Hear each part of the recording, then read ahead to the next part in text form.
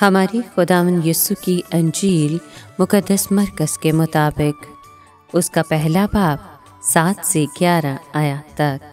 और वास करते हुए कहता था कि वो आता है जो मुझसे जोरावर है, और मैं इस लायक नहीं कि झुककर उसकी जूतियों का तस्मा खोलूं।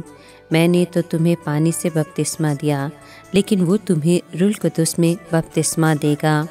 और उन दिनों में ऐसा हुआ कि यसु ने जलील के नासरत से आकर उर्दन में योहन्ना से बपतिस्मा पाया और जो ही वो पानी से बाहर आया तो उसने आसमान को फटता और रूह को कबूतर की मानित अपने ऊपर उतरते देखा और आसमान से आवाज़ आई कि तू मेरा बेटा है अल महबूब तुझसे मैं खुश हूँ।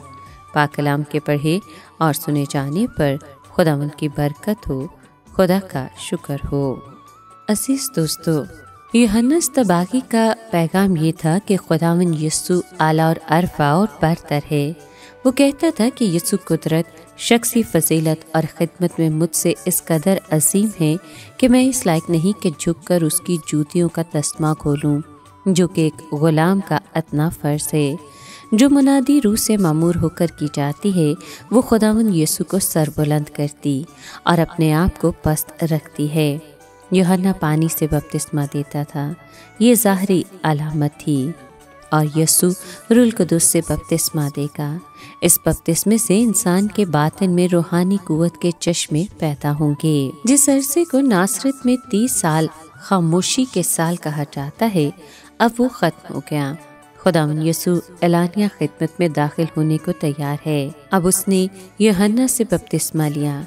जहाँ तक यसु का ताल्लुक है, ये तोबा का बपतिस्मा नहीं था, क्योंकि उसने कोई गुनाह नहीं किया था। खुदावन का बपतिस्मा एक अलामती था। वो कलवरी पर उसकी मौत और मुर्दों में से जी उठने की तस्वीर था। इस तरह उसकी खिदमत के आगाज़ ही से हमें सलीब और आखिरी कबर के वाज इशारे नज़र आते हैं।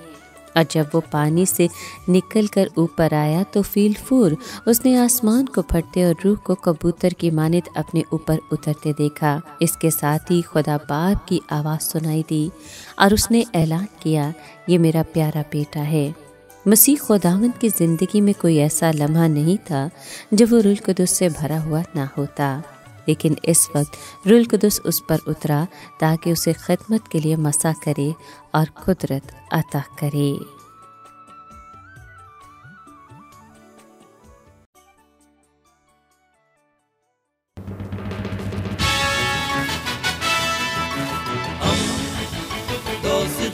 पैम्बर